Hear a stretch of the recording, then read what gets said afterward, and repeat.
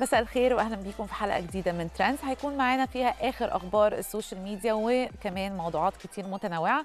ويلا نبدأ بفقرة trends of the week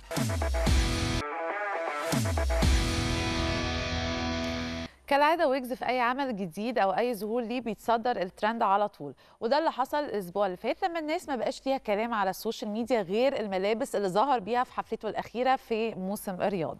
ناس كتير قوي هاجمت ويجز وانتقدت اللبس اللي ظهر بيه وكان منهم نقيب الموسيقيين هاني شاكر واللي كتب على تويتر بعد أن سألت أكتر من مرة عن صورة ويجز الأخيرة وهذا ال look الغريب رأيي الشخصي أن فالنتينو خسر كتير جدا بعد هذا المظهر المضحك المبكي في نفس الوقت. وقال هاني شاكر في tweetة تانية تعليقا على الرأي اللي قلته أمس عن ويجز ومظهره الأخير أكرر وأؤكد أن ده رأيي الشخصي بعيدا عن النقابة وهذا لمن اختلط عليه الأمر. واطلاله ويجز اتكلفت حوالي 93 ألف جنيه الجاكيت الأخضر ب 2550 دولار والقميص ب 1150 دولار والشورت برضو ب 1150 دولار والبوت ب 1400 دولار. اطلاله ويجز في موسم الرياض شفنا أكتر من حد كان لابس زيها في العالم واتعرضت في أكتر من عرض في عروض أزياء عالمية. من الحاجات اللي اتصدرت الترند وأشاد بيها ناس كتير هي تصريحات الفنان محمد سليمان عن زواج بنته. قال محمد سليمان أنا طيب بس أنا منطقي مش بحب أتكلم في موضوعات مش مفهومة. واحد زائد واحد بيساوي اتنين. أنا ما حطيتش شروط في جواز بنتي لا قائمة ولا فرضت عليه مهر ولا الكلام ده كله. أنا جوزتها الطريقة الإسلامية. أنا ببص للولد نفسه مش بيهمني مين أبوه ولا معاه فلوس ولا ما معهوش. المهم الولد متربي ولا مش متربي وده اللي هيفرق في حياته مع بنته. ممكن يكون إنسان مش كويس ويجيب لبنتي كل حاجة العادات والتقاليد اللي بنفكر فيها مش بتخدم أولادنا على قد ما بتمثل قيود عليهم. وطبعا الموقف ده أشاد بيه عدد كبير من الشباب والبنات على ال social media وخصوصا إنه كلنا سمعنا قبل كده كتير من رجال الدين بيطالبوا الأهالي إن هم يسهلوا شوية في شروط الجواز. ومن الحاجات اللي الكل بيتكلم عنها وخصوصا المصريين هي محطة محمد صلاح اللي جاي هل هيبقى في ليفربول ولا هيروح برشلونة ولا فين بالظبط؟ وقال المدرب المساعد الأسبق لنادي ليفربول إن محمد صلاح واحد من أفضل ثلاث مهاجمين على مستوى العالم وهو في أفضل أوقاته دلوقتي. ويريد أن يلعب في ليفربول وهناك ثلاثة أو أربع أندية تريد ضم مو صلاح. من وجهة نظري أتمنى أراه في برشلونة إذا لم يكمل مسيرته في ليفربول أسلوبه يناسب برشلونة. الصحف الإيطالية واللي مهتمة جدا بمحمد صلاح من وقت ما كان بيلعب في نادي روما الإيطالي قالت إن محمد صلاح مش بيفكر في الانضمام للدوري الإسباني الموسم اللي جاي وعايز يكمل عقده مع ليفربول واللي هيخلص سنة 2023 وده عشان يقدر يمشي بالمجان من النادي. وده طبعا هيخلي صلاح يحصل على فرص أفضل ليه. ويمكن الكلام ده كله بيحصل في الوقت اللي فيه صحف أسبانيا كتير جدا بتتكلم عن اقتراب نادي برشلونة الأسباني من التعاقد مع الفرعون المصري محمد صلاح. وفي كلام إن نادي برشلونة عرض مبلغ 58 مليون يورو لضم صلاح لكن نادي ليفربول طلب 80 مليون يورو. ومن المتوقع إن النادي الأسباني يرفع قيمة العرض وكمان نادي يوفنتوس الإيطالي دخل في مفاوضات لضم صلاح. وبكده خلصت فقرة trends of the week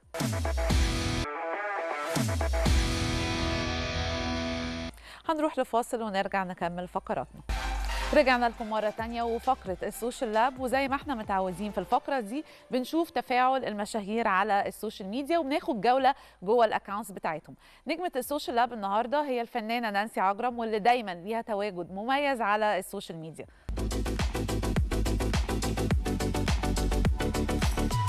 نانسي عجرم بتحتفل الفترة دي بنشر أغنيتها الجديدة ما تعتذر اللي فاجئتنا فيها بقدراتها القوية في التمثيل والأغنية انتشرت بسرعة جدا على ال social media. وطبعا في أغنية أثرت فينا كلنا وبما إننا بنحتفل بعيد الأم الأيام دي تعالوا نشوف أغنيتها الجديدة.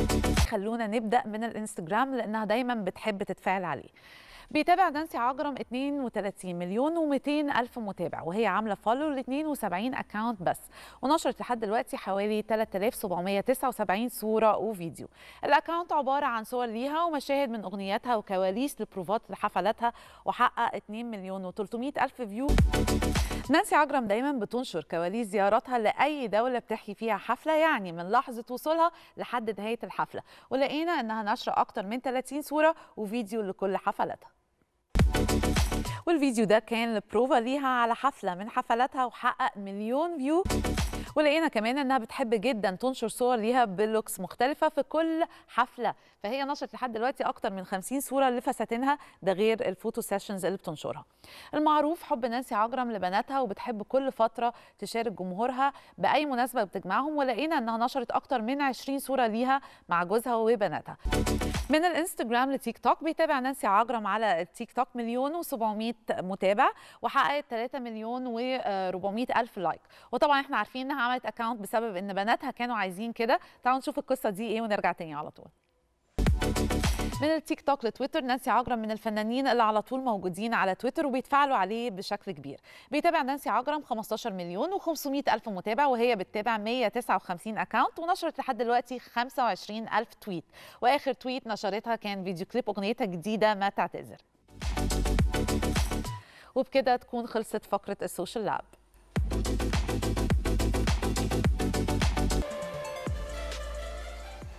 كل يوم سوق العمل متطلباته وشروطه بتتغير وفرص الشغل بتكون كتير ولكن الشباب المتخرجين جديد كتير منهم ما بيكونش مستعد بشكل كويس وما بيكونش عارف المفروض يعمل إيه بالظبط علشان يلاقي وظيفة كويسة تناسبه.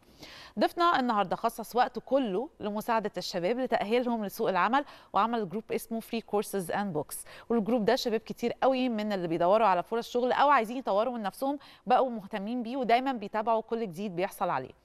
ضيفنا النهارده فاز بعدد كبير من الجوائز في مسابقات متنوعة زي المبادرات التطوعية التابعة لوزارة الشباب والرياضة للتعليم عن بعد وكمان جوائز تانية مختلفة على مستوى الوطن العربي. منورنا في الاستوديو محمود عثمان مؤسس group Free Courses and Books ازيك يا محمود؟ بخير الحمد لله. ازي حضرتك؟ عامل إيه؟ مش بخير الحمد لله. محمود أول حاجة هسألها طبعا إيه اللي خلاك تفكر إن أنت تعمل آه حاجة على ال social media تكون بتساعد فيها الشباب. اولا أنا خريج 2017 كلية تجارة. كان عندي وقت ما اتخرجت كان في مشاكل كبيرة. للناس أول ما بتتخرج بتكون تايهة في سوق العمل بنلاقي وظائف كتيرة ظهرت وبسبب التطور التكنولوجي بقى في وظائف كتير عن بعد. فأنا كان عندي هدف إن أنا نفسي أسهل على الناس الطريق اللي أنا قعدت أخبط فيه بشكل كبير على ال social media. فكان عندي هدف إن أنا ليه ما أعملش مجتمع إيجابي على ال social media أقدر أساعد بيه الناس بشكل كبير إن هم يقدروا يطوروا من نفسهم. كان واجهتني شوية مشاكل في الأول اللي أنا يعني مش كل الناس لما بتكون بادئ فكرة بتكون مؤمنة بيها بشكل كبير أو تقدر تساعدك. فإحنا كنا زي يعني في البداية زي الكشافة كده بنحاول ندور على إيه الحاجات اللي الناس ممكن تدور عليها أو مين الناس اللي أنا لوحدي مش هقدر أعمل حاجة. فربنا كرم بعدد كتير من الفقرات اللي إحنا بدأنا في أول حاجة في ال group بدأنا بأربع فقرات بس. بدانا الحمد لله ال group دلوقتي فيه 150 فقرة على مدار الأسبوع غير اللايفات الأسبوعية اللي بتكون موجودة. الفقرات دي عبارة عن إيه بقى؟ الفقرات دي إحنا عاملينها فكرة ال group بشكل كامل هي زي برنامج تلفزيوني. آه البرنامج ده بيكون مثلا الصبح فيه رسالة تحفيزية في نص اليوم في تحديات بيبقى فيه حد عايز يتعلم أسباني حد عايز يتعلم ألماني على حسب اللغات دي كلها. بنحاول أنا فكرتي أول ما بدأت ال group كانت مثلا ناس كتيرة بننزل لهم كورسات لتعليم الأسباني فنحط لهم material كتير أكتر من course وأكتر من محتوى فالناس بتسجل ك save post بشكل كبير وفي الآخر ما بترجعش لده فبيكون في تسويف. فأنا كان عندي هدف ليه ما أعملش إن يكون في معلومة الناس تاخدها في آخر اليوم تقدر تتعلمها. فمن هنا كنت بستضيف مثلا حد مثلا instructor أسباني أو حد بيعمل حاجة طب إيه رأيك ما الكورسات اللي إحنا بننزلها دي أنا عايزك كل يوم تيجي تديني مثلا كلمتين أو تدي ملخص أو إزاي الناس تقدر تذاكر لوحدها حاجة زي كده. فالناس بتشوف إن ده post عادي مجرد post عابر مع ان أنا بكون مثلا متفق معاه ان هي سلسلة على مدار شهر كامل أو على مدار ثلاث شهور. ففي آخر اليوم الناس بتطلع بمعلومة فتقدر مستفيدة بشكل كبير في الجزئية دي. م. بس فال group فيه فقرات عبارة عن اليوم كامل على مدار الأسبوع لغات حاجات ليها علاقة بتنظيم الوقت حاجات إزاي الناس برضه تقدر تحفظ قرآن إزاي تقدر تحل مشكلة التسويف.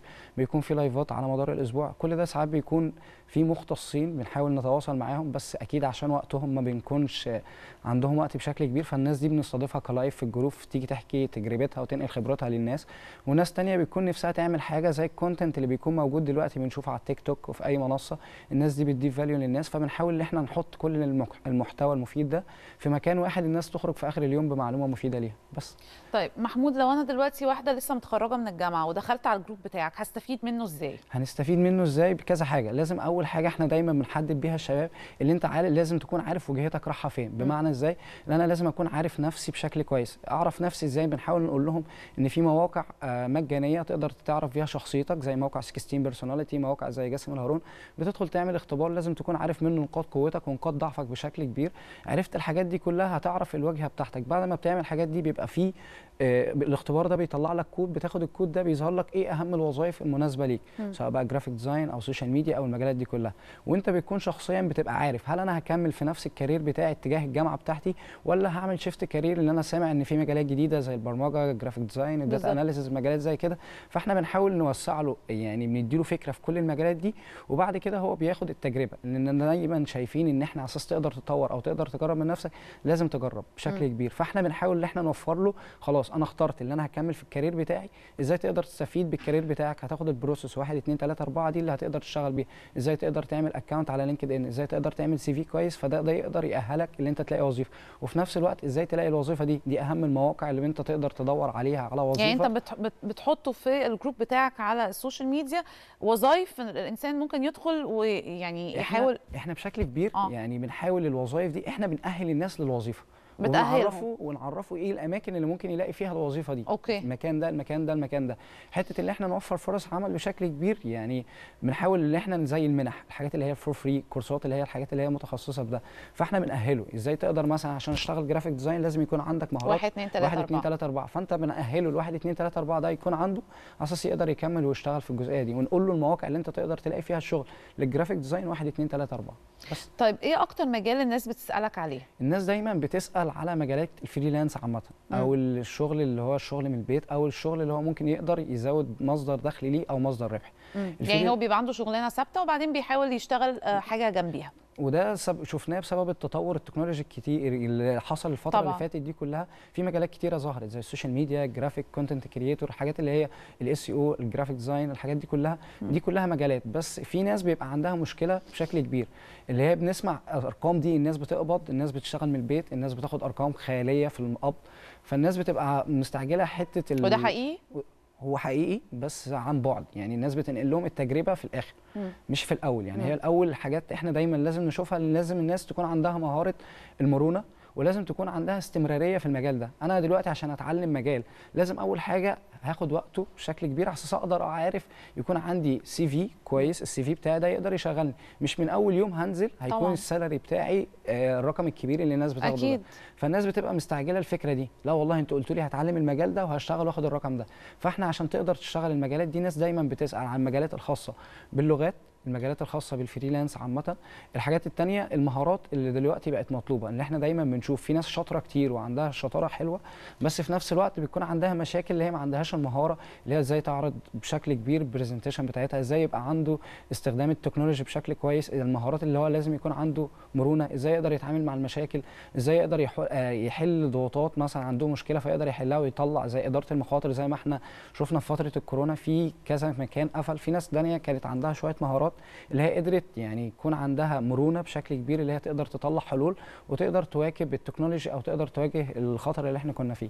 بس طيب آه لو واحد لسه متخرج وبيعمل CV إزاي أقول ال CV ده كويس جامد حلو والتاني ده CV يعني مش أحسن حاجة؟ هو السؤال هنا بيختلف على حسب كل كلية. ان مم. كل كلية بيبقى ليها متطلبات وكل كلية بيبقى ليها التدريبات بتاعتها.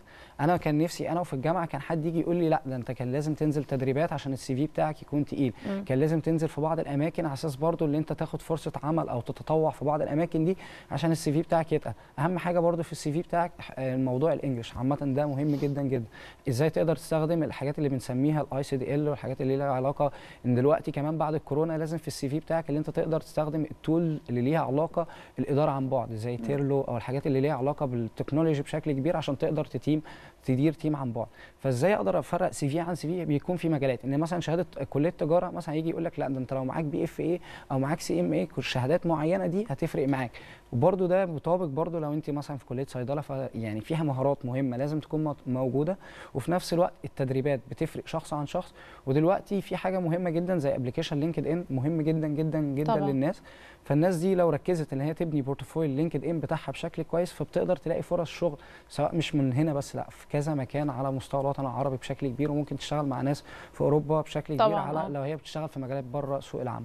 بس. طيب إيه هي أهم الكورسز اللي المفروض أكون أنا باخدها لو أنا بدور على شغل؟ دي حاجة تفرق مثلا آه، في مكان أنا بحاول أتعين فيه غير آه، موضوع اللغة. يعني إحنا عارفين طبعا اللغة ده حاجة أساسية. ماشي. أهم حاجة دلوقتي أنا بشوف إن هو لازم دلوقتي بدل الكورسات دلوقتي عودناها حاجة دايما بنسميها soft skills اللي هي المهارات. تمام؟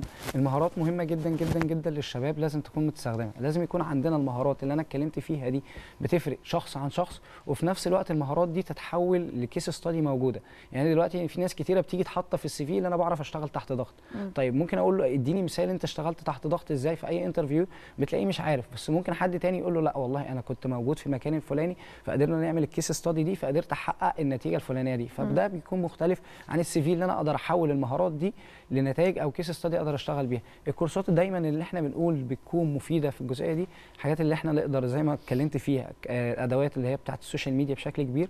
الكورسات اللي ليها علاقة بال soft skills اللي أنا الناس بتبقى شايفاها مهارات لا دي بيبقى ليها كورسات موجودة سواء على مواقع التعليم الأونلاين سواء Coursera سواء إدراك سواء الحاجات اللي إحنا ساعات بننزلها في ال group. يعني آخر فترة كانت نسرين بلال كانت عاملة تحدي اللي إحنا كل يوم بناخد course صغير لمدة مثلا 20 دقيقة على منصة معينة والناس بتنزل الشهادة دي. لأن النفس البشرية دايما بتحب الشعور بالامتنان. طبعا. فأنا لما بنزل شهادة فبيبقى بحس اللي هو عمل إنجاز. فأنا دلوقتي إيه ده والله ده, ده أنا بتطور. لا إيه ده, ده أنا باخد الجزئية دي فببقى شاطر في الحاجة زي كده. ففي كورسات دايما دايما بنتكلم فيها عشان برضو ما نبعدش عن السؤال. كورسات ال soft skills مهمة جدا جدا اللي هي المهارات. ولازم دايما برضو أشوف السوق رايح فين. دي دايما الناس بتغفل عنها.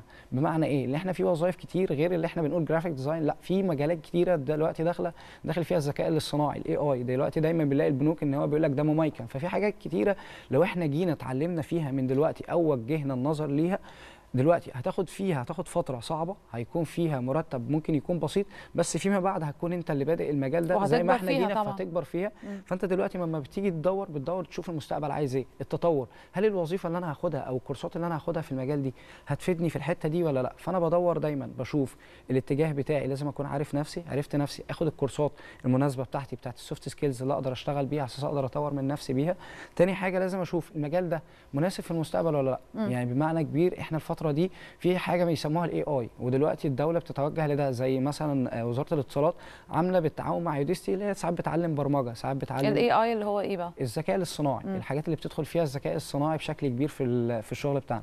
فيجي يقول لك لا ده خلاص ده يعني الناس بتيجي دايما تقول لك إيه ده يعني هو الروبوت أو الناس الإنسان الصناعي ده هيجي يحل عن كل الشغل. أكيد مش كل الشغل إحنا دايما عندنا اللي إحنا أكيد هن follow وراه بس في شغل معين هو بيقلل. الجهد البشري طبعاً. زي ما إحنا بنشوف دلوقتي إن إحنا بنحاول ساعات في شغل بنقلل فيه الجهد البشري بشكل كبير فبنختار اللي هو لا ده ما دام في tools معينة دلوقتي أنا عايز أعمل presentation إيه ده؟ ده في Canva موجودة بدل ما أروح أجيب gra- graphic design ده presentation جاهزة في موقع بتوفر ده. وهكذا في كل الحاجات المجالات اللي موجودة في في شكل كبير الفترة دي. مم. بس. آه، في ناس بتقول إن دلوقتي بقى في ناس كتير قوي بتطلب إن أنت اللغة العربية بتاعتك تكون كويسة جدا لدرجة إن هو حتى لو معاه لغة تانية كان إنجليزي أسباني فرنساوي أي حاجة من اللغات التانية ممكن ما يتقبلش بسبب إن اللغة العربية بتاعته مش كويسة. حقيقي الكلام ده؟ كتير. وفي شغل برضو آه شغل فريلانس برضو في الجزئية دي حاجة بيسموها التدقيق اللغوي إن في ناس دايما بيبقى برضو عندها مشاكل في اللغة العربية. تمام؟ فاللغة العربية دي بيبقى مهمة جدا جدا للناس اللي هي اللغة الأم. في ناس مهمة دلوقتي في وظيفة بيسموها التدقيق اللغوي. لو أنا بعمل كتاب أو أنا براجع مقال في مكان ما زي مثلا رئيس التحرير أو في أي مكان بيدقق لغويا من ورا الشخص نفسه عشان يلاقي الأخطاء. وفي ناس تانية بتيجي بتعملها في الكتب حاجة بيسموها التدقيق اللغوي. فدلوقتي ده بقى برضه وظيفة. في ناس دايما بتستسهل تقول لك لا أنا برضه لو مش هتعلم لغة عربية دلوقتي في مجالات معينة بيجيبوا فيها مدقق لغوي متخصص سواء في موقع سواء آه في لو انت بتعمل كتاب فلازم يكون في تدقيق لغوي وراك. حتى في الف... لما بنيجي نقرأ كتاب يقول لك مثلا التدقيق اللغوي آه، دققه كذا. في ناس معينة كده. وفي وظائف على مواقع ال freelance اللي هي زي مواقع موجودة Upwork مستقل خمس خمسات المواقع اللي هي زي كده. الناس بيبقى في طالبه حاجات شبه كده. وفي ناس دايما بتحط لا والله أنا محتاجه حد يراجع لي البحث ده. هل في أخطاء ولا لأ؟ فبتبقى زي وظيفة أنا بعرض خدمتي بشكل كبير. في ناس برضو متخصصة في اللغة العربية فبيبقى ليها سوقها بشكل كبير. أكيد. بس. طيب احكي لي بقى شوية عن منصة علمني. علمني إحنا يعني عملناها في شهر 11 اللي فات. كان عندي هدف اللي إحنا زي ما إحنا في ال group اللي إحنا نقلنا آه، بشكل كبير معرفة بشكل كبير مع الناس. كان عندي هدف إن أنا أحط لهم مسار تعليمي أو road map يمشي عليه. أنا مم. دلوقتي عايز أتعلم graphic design آه مثلا عملنا تعاون مثلا مع كيان. كيان ده تعالى هتعمل لي ال road map دي. أنا عايز الناس تكون عارفة التسلسل الوظيفي للشغل ده. التسلسل الوظيفي هيكون واحد ال senior graphic design كذا كذا كذا. فالشخص اللي داخل عارف المجال ده. بعد كده هتقول مين مثلا هتقول له إيه أهم المجالات إيه أهم الجروبات اللي موجودة في المجال ده؟ تالت حاجة إحنا بناخد الناس دي بنحطهم جوه group آه مثلا لمدة مثلا لمدة شهر على حسب كل واحد بيحط ال case study أو ال plan بتاعته عاملة إزاي. يقول لي مثلا هاخد الناس دي 45 يوم. أقول له تمام بيبقى في أربع محاضرات على Zoom هنحط المحاضرة الأولانية إزاي تعرف المجال ده. بنديهم تاسكات فالناس بتنفذ ال task اللي بينفذ ال task بيكمل اللي ما بينفذش ال task ما بيكملش.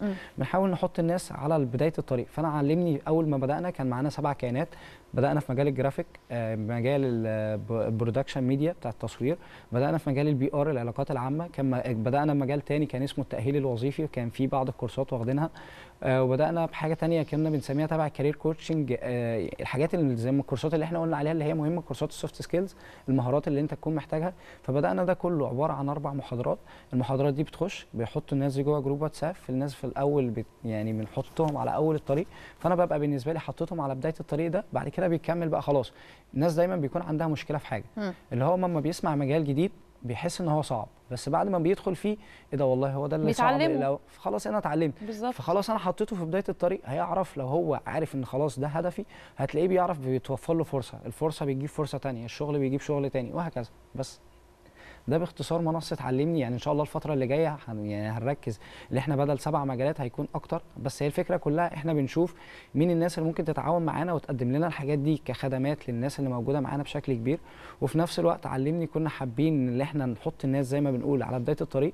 والفترة اللي جاية بنحاول الفترة اللي جاية بإذن الله على أساس نقلل الحاجات دي كلها اللي إحنا نعمل search بشكل كويس ونسأل متخصصين اللي إحنا نعمل road map آه، في المجالات دي. اللي أنا دلوقتي عايز أتعلم جرافيك أدي ال road map بالتاسكات بتاعتها بالتسلسل الوظيفي بتاعها بأهم الأشخاص وأنا لو عايز أشتغل في المجال ده هعمل إيه؟ مثلا لو مجال ال graphic design فأنا لازم يبقى عندي حاجة بيسموها Behance ال Behance بتاعي ده ببقى حاطط فيه شغل.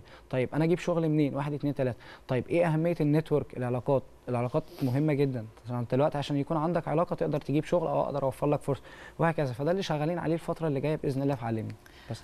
طيب آه، في شباب كتير بيرفض إن هو يعمل آه، حاجات تطوعية. تنصحهم بإيه؟ يعني ساعات بيقولوا أنا هستفيد إيه لما أنا أعمل الحاجات دي؟ طيب أنا أول ما بدأت الجروب يعني بشكل كبير آه، الناس كانت دايما تشوف إيه أكيد في مصلحة جاية من هنا أو في حاجة جاية من هنا. دايما الناس اللي بتعمل عمل خيري أو حاجة بشكل كبير آه، بتقدم محتوى مفيد الناس دي بيكون عندها برضو مشكلة. أو عندها يعني الناس برضو بتقدم محتوى. الناس بتشوف إن هو فيديو دقيقتين أو فيديو ثلاث دقائق بس الناس دي بتتعب. يعني أنت عشان تقدر تعمل search أو ال post اللي أنت شايفه أو أنا أكتب سكريبت كامل أو حاجة دي كلها شايفها بيكون نفسه يعني حتى دعم الناس. ال like وال comment اللي هم بيقولوا يا جماعة ممكن تعمل لنا subscribe هنا أو الحاجات دي بتفرق معاهم. ليه بتفرق معاهم؟ اللي هو يعني هو ده بالنسبة له المردود اللي بيشوف. طب أنا شغلي مناسب للناس دي. فأنا لما جينا عملنا ال group كان هدفي الناس دي تكمل. أنا لما كان هدفي الناس دي كان عندها مشكلة اللي هو هعمل مونتاج أنا بقعد على الفيديو كتير طب أنا بعمل سكريبت طب أنا بعمل حاجة. أنا كان نفسي إن أنا زي أكون حلقة يعني زي الكشافة. أجيب اللي بيقدم محتوى هنا أحطه مع الشخص اللي الناس بت... نفسها تتعلم فأحط الاثنين مع بعض فده يلاقي نفسه اللي هو بياخد تشجيع فيقدر مكمل لأطول مدى ممكن. وساعات ظروف الحياة بتكون مختلفة. في ناس بتيجي تقدم محتوى بيكون عندها هدف معين. أنا لفترة معينة بقدم محتوى add value بكون جمهوري. بعد كده بيتجه لناحية تانية يقول لك خلاص لأ أنا دلوقتي في حاجات بتبقى بالنسبة لي دي paid مدفوعة وفي حاجات التطوع دي بتبقى بالنسبة لي تطوع. فالناس دايما اللي بتعمل عمل تطوعي أو بتعمل حاجة بنسميها بتقدم محتوى مفيد الناس دايما بتتابعها عشان خاطر اللي هي بتقدم value بشكل كبير. ودلوقتي التيك توك أو المنصات اللي موجودة كتير دلوقتي في ناس كتير ميديا. على ال social media بقت تقدم محتوى. فالناس دي كتير بس هي الفكرة كلها المحتوى المفيد ما بيلاقيش تفاعل بشكل كبير من الناس. بمعنى إيه؟ اللي هو يعني الناس ممكن تنتقد ظاهرة سلبية في حد تاني بيقدم محتوى على قناة يوتيوب وقاعدة ده حد بيعمل غدا وأنا عملت غدا لحماتي كذا. فالناس ممكن تكون شايفة ده fake بس إحنا اللي بنديهم اللي يعني بنعمل عليهم focus فبيشيروا. الناس التانية برضو تبقى شايفة اللي هي لما بتيجي تقدم content مفيد اللي هي عندها حق اللي هي برضو نفسها تتشاف إن نفسها الناس تتفاعل معاه نفسها الصحافة أو مثلا زي برنامج حضرتك كده بتجيب نماذج على ال social media فبتقدر الناس بتظهر فيحس اللي هو بيعمل حاجة ذو قيمة. الناس دي لو بتحس بس اللي هي بتاخد 5% من الحاجات اللي الناس التانية بتاخدها هينبسطوا جدا وهيكملوا. وهيكملوا. بس دايما الناس اللي بتقدم محتوى مفيد بيكونوا موجودين بشكل كبير على ال social media. الناس دي آه يعني دايما بيتعاملوا بإذن يعني أنا بشوفهم بشكل كبير الناس دي بيكون عندها add value لآخر النفس والناس دي بتبقى معروفة. يعني بشكل كبير بتبقى معروفة في التعامل بتبقى معروفة في نقل المعلومة بتبقى معروفة في الرد على الرسائل أو الكومنتات بتاعت الناس بشكل كبير. فيعني ال social media بتبقى إنجاز لناس معينة وهي اللي بتظهر الناس. وبشوف شوف نايم نفس الناس مثلا لما بتيجي تقدم محتوى الناس بتشوفها آه اللي هو بيبقى الجمهور اللي هو يعني كان سبب اللي هو يظهر أو هو ليه حق عليه. أنا النهارده لازم أشكر أي حد كان قدم فقرة أي حد عضو كان بيشارك في كومنت ده حقهم. أنا من غير الناس دي ما كنتش هقدر أعمل حاجة. دايما يعني الرسول صلى الله عليه وسلم الخير في أمتي إلى يوم الدين. الخير كده كده دايما موجود. وحديث كتيرة دايما. يعني إحنا بنحاول نذكر الناس بالحاجات دي كلها دايما أساس تقدر تبتدي. بس. محمود بشكرك جدا على وجودك معايا النهارده ويعني ربنا يوفقك بجد على كم المساعدات اللي انت ممكن تكون فعلا عملتها ولسه هتعملها لناس كتير بيحاولوا إن هم يبتدوا حياتهم أو إن هم يغيروا حتى ال career آه، بتاعهم في يوم من الأيام. شكرا لحضرتك. شكرا. على الاستضافه الجميله شكرا. لحضرتك. وبكده تكون حلقتنا خلصت. نشوفكم بكرة إن شاء الله في حلقة جديدة. bye bye.